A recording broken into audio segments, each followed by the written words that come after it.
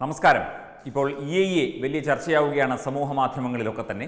അതിനെയും രാഷ്ട്രീയമായി തന്നെ നേരിടുകയാണ് ഇവിടെ പല ആളുകളും. അതായത് എന്തിനേയും ഏതിനേയും രാഷ്ട്രീയവൽക്കരിച്ച് ജനങ്ങൾക്കിടയിലുള്ള സമ്മതി കുറയ്ക്കാനുള്ള ഒരു നീക്കത്തിന്റെ ഭാഗമായിട്ടാണ് ഇതൊക്കെ എന്ന് ഇപ്പോൾ കൊച്ചുകുട്ടികൾക്ക് പോലും മനസ്സിലായിക്കൊണ്ടിരിക്കുന്നു. അതിനെ ഇ ഐ എ എന്താണ് ഏതാണ് എന്ന് മനസ്സിലാക്കാതെ അതിന്റെ വിജ്ഞാപനത്തിന്റെ രീതി മനസ്സിലാക്കാതെ അത് നിയമമാണോ അല്ലെങ്കിൽ നിയമമാകുമോ എന്ന കാര്യം പോലും ഉറപ്പില്ലാത്ത ഒരവസ്ഥയിൽ ഇതൊക്കെ ചർച്ച ചെയ്ത് കുളമാക്കുകയും അതിന് എതിരെ തിരിക്കുകയും ജനങ്ങളെ തിരിക്കുകയും ചെയ്യുന്ന അഭ്യാസമാണ് ഇവിടെ നടക്കുന്നത് എന്ന് മനസ്സിലാക്കാൻ വലിയ ബുദ്ധിയൊന്നും വേണ്ട. പിന്നൊരു കാര്യം അവനവന്റെ കണ്ണിലെ കോലെടുത്തിട്ട് മറ്റുള്ളവന്റെ കണ്ണിലെ കരണ്ടെടുക്കാൻ പോകൂ എന്ന ഒരു കാര്യം കൂടി കേരളത്തിലെ ഇടതുപക്ഷ ഗവൺമെന്റിനോടും ഇടതുപക്ഷ രാഷ്ട്രീയ ചിന്താഗതിക്കാരോടും ഇവിടെ അവരോടൊപ്പം നിൽക്കുന്നവരോടുമൊക്കെ കോൺഗ്രസ്സുകാരോടുമൊക്കെ പറയാനുണ്ട്. മാധവ് ഗാഡ്കിൽ റിപ്പോർട്ട്. കാറ്റിൽ പറത്തിയ കാറ്റിൽ പറത്തിയ സർക്കാരാണ് ഇവിടെയുള്ളത്. അല്ലെങ്കിൽ ഇവിടെ മാധവ് ഗാഡ്കിൽ റിപ്പോർട്ട് പ്രകാരം ഉള്ള ഒരു കാര്യത്തെയും അംഗീകരിക്കാതെ തള്ളിക്കളയി തള്ളിക്കളഞ്ഞതിന്റെ പരിണിത ഫലമായിട്ടാണ് രണ്ടായിരത്തി പതിനെട്ടിലും പത്തൊൻപതിലും ദാ ഇപ്പോഴുമൊക്കെ ഈ പ്രളയവും മണ്ണിടിച്ചിലുമൊക്കെ ഉണ്ടാകുന്നത് എന്ന് മനസ്സിലാക്കാൻ പോലും ഉള്ള ഒരു ചിന്താശേഷി ഇല്ലാത്തവരാണ് ഇവിടെ ഭരിച്ചതും ഇപ്പോൾ ഭരിച്ചുകൊണ്ടിരിക്കുന്നതും എന്നതാണ് യാഥാർത്ഥ്യം. P T Thomas M L A എന്ന വ്യക്തിയല്ലാതെ അദ്ദേഹം അന്ന് എം പി ആയിരുന്നു. എന്ന വ്യക്തിയല്ലാതെ ഈ ഒരു അവസ്ഥയിൽ ഈ ന്യൂനപക്ഷ പ്രീണനവും ബിഷപ്പുമാരുടെ അന്തപ്പുരങ്ങളിൽ കയറിയിറങ്ങുന്നവരൊന്നും ഇതിനെ കാര്യമായി എടുത്തില്ല എന്നുള്ളതല്ല എന്നുള്ളതാണ് ഏറ്റവും പ്രസക്തമായ കാര്യം. താമരശ്ശേരി ബിഷപ്പ് പറയുന്നതാണ് ഇവിടെ നിയമം എന്ന അവസ്ഥയിൽ നിന്ന് കാര്യങ്ങൾ. മാധവ് ഗാഡ്കിൽ പറഞ്ഞതാണ് ശരി എന്ന അവസ്ഥയിലേക്ക് ചിന്തിക്കാൻ ഈ ഒരു അവസരം ഇപ്പോൾ എത്തിയിരിക്കുന്നു. എന്നാലും ഇവിടെ പ്രത്യേകിച്ച് കാര്യമൊന്നും ഉണ്ടാകും എന്ന് തോന്നുന്നില്ല. ഇതൊക്കെ തന്നെയാണ് ഇവിടെ സംഭവിച്ചുകൊണ്ടിരിക്കുന്നതും ഇനി സംഭവിക്കാൻ പോകുന്നതും. ആരെന്ത് പറഞ്ഞാലും എല്ലാത്തിനെയും രാഷ്ട്രീയവൽക്കരിക്കുക മതവൽക്കരിക്കുക ന്യൂനപക്ഷ പ്രീണനം എന്ന പേരിൽ പലതിനെയും തള്ളിക്കളയുക തട്ടിക്കൂട്ടുക. ഇതാണ് ഇവിടെ നടക്കുന്നത്. ഇങ്ങനെയുള്ളവരാണ് ഈ ഇ എ എന്താണ് ഏതാണ് എന്നറിയാൻ മേലാതെ ഇപ്പോൾ സമൂഹ മാധ്യമങ്ങളിലും ഒക്കെ ഇരുന്ന് പ്രസംഗിക്കുകയും വലിയ വലിയ കാര്യങ്ങളൊക്കെ പറയുകയും ചെയ്യുന്നത്. നിങ്ങളൊക്കെ പുറകോട്ടൊന്ന് തിരിഞ്ഞു നോക്കിയാൽ അതിന്റെ കാര്യങ്ങൾ മനസ്സിലാകും. എന്താണ് ഇ ഐ എ? എന്താണ് ഇ ഐ എ എന്ന് ചോദിക്കുന്നുണ്ട്. എന്താണ് ഇ ഐ എന്ന്? വായിച്ചു നോക്കിയാൽ കരട് വിജ്ഞാപനമാണ് നെറ്റിൽ അവൈലബിൾ ആണ്. വായിച്ചു നോക്കിയാൽ എല്ലാവർക്കും അറിയാം. നിങ്ങൾക്കും മനസ്സിലാകും സാധാരണക്കാർക്കൊക്കെ മനസ്സിലാകും മലയാള പരിഭാഷയും കിട്ടും. ഒന്ന് നോക്കി നോക്കൂ. എന്തായാലും ഒന്ന് പറയാം.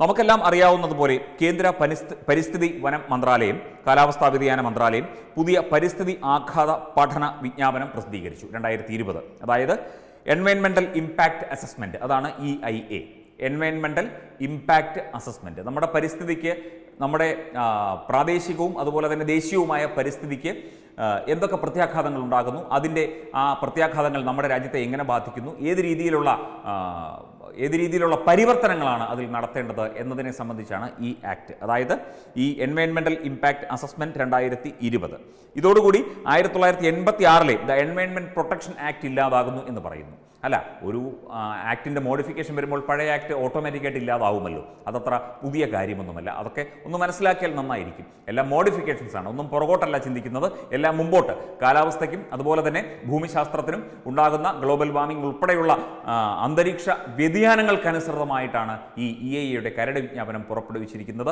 തീർച്ചയായും അതൊരു ആക്ട് ആയിട്ടില്ല ഒരു നിയമമായിട്ടില്ല. പല നിർദ്ദേശങ്ങൾ കൂടി ഉൾക്കൊണ്ട് അതിനെ പരിഷ്കരിച്ചാണ് അത് ആക്ടാക്കി മാറ്റുന്നത് എന്നുള്ള കാര്യം ഒന്നുകൂടി പറയുകയാണ്. നിങ്ങളാരും കേൾക്കില്ല എന്നറിയാം. എന്നാലും ഒന്നുകൂടി പറയുകയാണ്. ഇത് ഇതിനെതിരെ നിൽക്കുന്നവരോടാണ് പറയുന്നത് കേട്ടോ. ഇത് എതിർക്കുന്നവരോടാണ്. ഇതിന്റെ കാര്യങ്ങൾ മനസ്സിലാക്കി പ്രതികരിക്കുന്നവരോട് തീർച്ചയായും ഇതൊന്നുമല്ല പറയേണ്ടത്. അവർക്ക് കാര്യങ്ങൾ അറിയാം. എന്താണ് ഇ ഐ എ ഖനികൾ ജലസേചന അണക്കെട്ടുകൾ വ്യാവസായിക യൂണിറ്റുകൾ അല്ലെങ്കിൽ മാലിന്യ സംസ്കരണ പ്ലാന്റ് പോലുള്ള പദ്ധതികളുടെ പാരിസ്ഥിതിക പ്രത്യാഘാതങ്ങളെ ഒരു എൻവയൺമെന്റൽ ഇമ്പാക്ട് അസസ്മെന്റ് എന്ന പ്രക്രിയ ശാസ്ത്രീയമായി വിലയിരുത്തുന്നു കണക്കാക്കുന്നു. പദ്ധതിക്കായി വിദഗ്ധർ തയ്യാറാക്കിയ കരട് ഇ ഐ എ റിപ്പോർട്ടിന്റെ അടിസ്ഥാനത്തിൽ പ്രാദേശിക സമൂഹത്തിനും താല്പര്യമുള്ള വ്യക്തികൾക്കും അഭിപ്രായങ്ങൾ നൽകാനും എതിർപ്പുകൾ ഉന്നയിക്കാനും കഴിയുന്ന ഒരു പൊതു ഹിയറിംഗ് ഉൾപ്പെടെയുള്ള വ്യവസ്ഥകൾ രണ്ടായിരത്തി ആറിൽ പുറപ്പെടുവിച്ച നോട്ടിഫിക്കേഷനിലുണ്ട് അതൊന്ന് എടുത്ത് വായിച്ചു നോക്കിയാൽ മനസ്സിലാകും. പുതിയ കരട് വിജ്ഞാപനത്തിൽ ആരോപിക്കപ്പെടുന്ന പ്രശ്നങ്ങൾ എന്തൊക്കെയാണ്? അതും കണക്കാക്കണമല്ലോ. പുതിയ ഡ്രാഫ്റ്റ് പ്രോജക്റ്റുകൾക്ക് അഥ- അഥവാ പോസ്റ്റ് ഫാക്ടോ അംഗീകാരം അനുവദിക്കുന്നു. പാരിസ്ഥിതിക അനുമതി ലഭിക്കാതെ നിർമ്മാണം ആരംഭിച്ചാലും അല്ലെങ്കിൽ ഘട്ടം ഘട്ടമായി ഇരുന്നിട്ടും പദ്ധതികൾക്കുള്ള അനുമതികൾ നൽകാമെന്നാണ് ഇതിന്റെ അർത്ഥം. അതായത് പുതിയ ഡ്രാഫ്റ്റ് പ്രോജക്റ്റുകൾക്ക് പോസ്റ്റ് ഫാക്ടോ അംഗീകാരം അനുവദിക്കുന്നു. എന്താണ് ഈ പോസ്റ്റ് ഫാക്ടോ അംഗീകാരം എന്ന് പറഞ്ഞു കഴിഞ്ഞാൽ? പോസ്റ്റ് എന്ന് പറഞ്ഞാൽ അതിനുശേഷമുള്ള അതായത് ഇതിന്റെ പ്രവർത്തനത്തിന്റെ ആ ഒരു പ്രത്യേക ഘട്ടം കണക്കാക്കി അത് തുടർന്ന് പ്രവർത്തിക്കാനുള്ള അനുമതി. അതിന് എല്ലാ അംഗീകാരവും അതിന്റെ ശാസ്ത്രീയമായി വിശകലനം ചെയ്തുകൊണ്ട് നൽകുന്നതാണ്. അല്ലാതെ തോന്നിയ വഴിക്ക് നൽകുന്നതല്ല ഈ പോസ്റ്റ് ഫാക്റ്റോ അനുമതി എന്ന് പറയുന്നത്. അതിന്റെ എല്ലാവിധ മാനദണ്ഡങ്ങളും പരിസ്ഥിതിയുമായി ചേർത്ത് വെച്ചുകൊണ്ട് അത് കൃത്യമായി അവലോകനം ചെയ്ത് അതിന് പ്രവർത്തന അനുമതി കൊടുക്കുന്നു എന്നുള്ളതാണ് അതിന്റെ യാഥാർത്ഥ്യം. പല വികസന പ്രവർത്തനങ്ങളും പൊതു കൺസൾട്ടേഷന്റെ പരിധിയിൽ നിന്ന് നീക്കം ചെയ്യുന്നു. കാറ്റഗറി ബി രണ്ട് പ്രകാരം പ്രോജക്റ്റുകളുടെ ഒരു ലിസ്റ്റ് ഉൾപ്പെടുത്തിയിട്ടുണ്ട്. ഇത് ഒരു ഇ ഐ എയുടെ ആവശ്യകതയിൽ നിന്ന് വ്യക്തമായി ഒഴിവാക്കിയിരിക്കുന്നു. അതായത് വകുപ്പ് പതിമൂന്ന് ഉപവകുപ്പ് പതിനൊന്ന് അവ ഏതൊക്കെയാണ് എന്ന് നോക്കാം. ഓഫ് ഷോർ കടൽത്തീര എണ്ണ ഗ്യാസ് ഷെയിൽ പര്യവേഷണം ഇരുപത്തിയഞ്ച് മെഗാവാട്ട് വരെ ജലവൈദ്യുത പദ്ധതികൾ അതുപോലെ രണ്ടായിരം മുതൽ പതിനായിരം ഹെക്ടർ വരെ കമാൻഡ് ഏരിയയുള്ള ജലസേചന പദ്ധതികൾ ചെറുകിട ഇടത്തരം ധാതു ഗുണഭോക്തൃ യൂണിറ്റുകൾ ചൂള യൂണിറ്റുകൾ ഉൾപ്പെടുന്ന ചെറിയ ഫൗണ്ടറികൾ ചില വിഭാഗങ്ങൾ റീറോളിംഗ് മില്ലുകൾ ചെറുകിട ഇടത്തരം സിമന്റ് പ്ലാന്റുകൾ ചെറിയ ക്ലിംഗ്ലർ ഗ്രൈൻഡിംഗ് യൂണിറ്റുകൾ ഫോസ്ഫോറിക് അല്ലെങ്കിൽ അമോണിയ ഒഴികെയുള്ള ആസിഡുകൾ അങ്ങനെ ഒരുപാട് കാര്യങ്ങൾ അതിനകത്ത് പറയുന്നുണ്ട്. ഇതൊക്കെ തന്നെ ലിസ്റ്റ് ചെയ്ത ബി ടു കാറ്റഗറിയിൽ വരുന്നതാണ്. ഈ ബി ടു കാറ്റഗറി പ്രവർത്തനത്തിനും വിപുലീകരണ നവീകരണ പദ്ധതികൾക്കുമുള്ള ഇ ഐയിൽ നിന്നുള്ള ഇളവും പൊതുജനങ്ങളുടെ അഭിപ്രായം തേടലിനെ ഇല്ലാതാക്കുമെന്നുമാണ് പറയുന്നത്. അതുവഴി അതാത് പ്രദേശത്തെ പരിസ്ഥിതിയെ സംബന്ധിക്കുന്ന നിർണായക വിവരങ്ങൾ മറച്ചുവെച്ച് ചൂഷണപരമായ രീതിയിൽ നിർമ്മാണം നടക്കും എന്നാണ് ആരോപിക്കപ്പെടുന്നത്. അതൊരു ആരോപണമാണ്. അതായത് ഇതിനകത്ത് ഇപ്പോൾ ചൂഷണത്തിനുള്ള ഒരു പോസിബിലിറ്റി ഇല്ല എന്ന് പറയുന്നില്ല ഒരിക്കലുമില്ല. അത് അതിന്റേതായ രീതിയിൽ മോണിറ്റർ ചെയ്തില്ലെങ്കിൽ അല്ലെങ്കിൽ ഈ പറഞ്ഞ നേരത്തെ പറഞ്ഞ വ്യവസായ യൂണിറ്റുകളും അല്ലെങ്കിൽ അതുപോലെയുള്ള സംഭവങ്ങളെല്ലാം തന്നെ കൃത്യമായി മോണിറ്റർ ചെയ്ത് അതിന്റെ പ്രവർത്തനം വിലയിരുത്തി മാത്രം മുമ്പോട്ട് പോയാൽ അത് പ്രശ്നമില്ല. പക്ഷേ അതിനകത്ത് ഒരു സ്വാഭാവികമായ ഒരു ആരോപണം ഉന്നയിക്കുന്നത് അത് വാസ്തവം തന്നെയാണ്. രണ്ടായിരത്തി ഇരുപതിലെ ഡ്രാഫ്റ്റ് വിജ്ഞാപനത്തിൽ ഇ എ മാത്രമായി എ എക്ക് മാത്രമായി ബന്ധപ്പെട്ട നിരവധി പദങ്ങൾക്ക് നിർവചനങ്ങൾക്കായി സമർപ്പിച്ചിരിക്കുന്ന ഒരു നിബന്ധനയുണ്ട്. ഇത് ഇ എ എ നിയമങ്ങൾ ഏകീകരിക്കുകയും നിലവിലെ നിയമത്തിലെ ചില അവ്യക്തതകൾ പരിഹരിക്കാനുള്ള കഴിവുണ്ടെന്ന അർത്ഥത്തിൽ അത് പ്രയോജനകരമായിരിക്കും എന്ന് വിലയിരുത്തപ്പെടുന്നു. ഒരു ഓൺലൈൻ സംവിധാനം നടപ്പിലാക്കുക കൂടുതൽ അധികാര വികേന്ദ്രീകരണം അതുപോലെ പ്രക്രിയയുടെ മാനദണ്ഡീകരണം എന്നിവയിലൂടെ പ്രക്രിയ കൂടുതൽ സുതാര്യവും വേഗത്തിലുള്ളതും പ്രയോജനപ്രദവുമാക്കുന്നതിനാണ് പുതിയ വിജ്ഞാപനം കൊണ്ടുവരുന്നത് എന്നാണ് കേന്ദ്ര സർക്കാർ പറയുന്നത്. അത് പറഞ്ഞോട്ടെ. തീർച്ചയായിട്ടും പറയും പറയുന്നത് കാര്യങ്ങൾ മനസ്സിലാക്കി മാത്രം നമുക്ക് പ്രതികരിച്ചാൽ മതിയല്ലോ. ഒരു ഒരു ഒരു കാര്യം പറയുമ്പോൾ അത് വ്യക്തമായി പറഞ്ഞു അതിന്റെ കാര്യങ്ങൾ മനസ്സിലാക്കിയ ശേഷം ആണ് പ്രതികരിക്കേണ്ടത്. അല്ലാതെ ഈ കാള പറ്റൂ എന്ന് കേൾക്കുമ്പോൾ കയറെടുക്കുന്ന ആ രീതി ഒന്ന് മാറേണ്ടതാണ്. പിന്നെ ഇതിൽ ഏറ്റവും പ്രധാനമായിട്ട് വരുന്നത് ഇപ്പോൾ രാഷ്ട്രീയ മുതലെടുപ്പുകളാണ്. നിലവിൽ പുറത്തു വന്നത് അന്തിമമായ നിയമമല്ല. കരട് വിജ്ഞാപനം മാത്രമാണ് ഇനിയും മാറ്റങ്ങൾ ഉണ്ടാകും ഏറ്റവും കൂടുതൽ പരിസ്ഥിതി ചൂഷണങ്ങൾ നടക്കുന്നത് കേരളത്തിൽ ആണെന്നിരിക്കെ നിലവിലുള്ള രാഷ്ട്രീയ വിവാദങ്ങളിൽ നിന്ന് ശ്രദ്ധ തിരിക്കാൻ പരിസ്ഥിതി മൗലികവാദികളുടെ കൂടി കൂടി നടക്കുന്ന ഉദ്യമമാണോ ഇതെന്ന് സംശയമുണ്ട്. നമ്മൾ കൂടംകുളം ആണോ പദ്ധതിക്കെതിരെ നടന്ന ആ സംഭവങ്ങളൊക്കെ തന്നെ നമുക്ക് മനസ്സിലാക്കേണ്ടതുണ്ട്.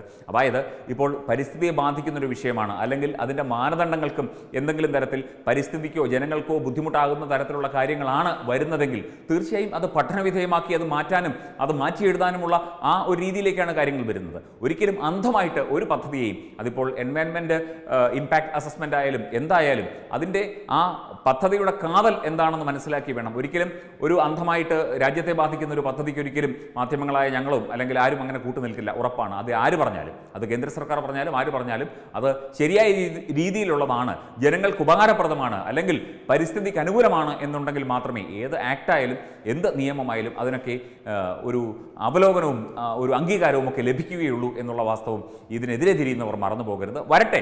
വന്നു കഴിഞ്ഞിട്ട് നമുക്ക് ആലോചിക്കാം. തീർച്ചയായും ആലോചിച്ച് വേണ്ട രീതിയിൽ മുമ്പോട്ട് കൊണ്ടുപോകാം. ഈ ആക്ടുകളൊന്നും അടിച്ചേൽപ്പിക്കുന്ന ആക്ടുകളല്ല തീർച്ചയായും ഇതൊക്കെ പരിശോധിച്ച് അതിന്റെ ശാസ്ത്രീയമായ കാര്യങ്ങൾ മനസ്സിലാക്കി വേണം ഇതിന്റെ കരട് നിർദ്ദേശത്തെ ഒന്ന് പരിഷ്കരിക്കാൻ. അപ്പം ആ രീതിയിലേക്ക് കാര്യങ്ങൾ എത്തട്ടെ. അന്നേരം തീർച്ചയായും നമുക്ക് ഈ വിഷയം ചർച്ച ചെയ്യാം. പോരായ്മകൾ ഉണ്ടെങ്കിൽ തീർച്ചയായും ജനങ്ങളെ ബാധിക്കുന്ന പരിസ്ഥിതിയെ ബാധിക്കുന്ന പ്രശ്നങ്ങൾ ഉണ്ടെങ്കിൽ ഞങ്ങൾ അടക്കമുള്ളവർ അതിന് എതിരായി തന്നെ എതിരായി തന്നെ നിൽക്കുകയുള്ളൂ. ഒരിക്കലും അതിന് അംഗീകാരം നൽകാനുള്ള ആ രീതിയിലേക്ക് കാര്യങ്ങൾ പോകാൻ നമുക്ക് അനുവദിക്കാൻ പാടില്ല. തീർച്ചയായും അത് നമുക്ക് ഗുണകരമാണെങ്കിൽ തീർച്ചയായും നമുക്കത് അംഗീകരിക്കുകയും ചെയ്യാം. അതാണ് ഇ ഐയുടെ ഇപ്പോഴത്തെ കിട്ടുന്ന വാർത്തകളും വിശകലനം വെച്ചുകൊണ്ട് ഞങ്ങൾക്ക് പറയാനുള്ളത്. കൂടുതൽ കാര്യങ്ങൾ വരട്ടെ. കൂടുതൽ കാര്യങ്ങൾ വന്നു കഴിയുമ്പോൾ നമുക്ക് വേണ്ട രീതിയിൽ കാര്യങ്ങൾ മുമ്പോട്ട് കൊണ്ടുപോകാം. വെബ് ഡെസ്ക് തത്വമേ. വാർത്തകളുടെ വ്യക്തവും കൃത്യവുമായ ആവിഷ്കാരം. കാലത്തിനൊപ്പം സഞ്ചരിക്കുന്ന സാങ്കേതിക തികവോടെ. ദേശീയതയിലും രാജ്യസ്നേഹത്തിലും ഊന്നിയ സത്യസന്ധമായ വാർത്താ സംസ്കാരം. മാധ്യമ നൈതികതയുടെ കലർപ്പില്ലാത്ത ആശയ സംവേദനം. സമരസപ്പെടലുകളില്ല സത്യം മറച്ചു പിടിക്കുകയില്ല. വാക്കുകളോ വാക്യങ്ങളോ മുറിക്കുന്നില്ല മാറ്റിവെക്കുന്നുമില്ല. ശീതീകരിച്ച ന്യൂസ് റൂമുകൾ നിങ്ങളുടെ സ്മാർട്ട് ഫോണുകളിലേക്കും കമ്പ്യൂട്ടർ ശൃംഖലകളിലേക്കും.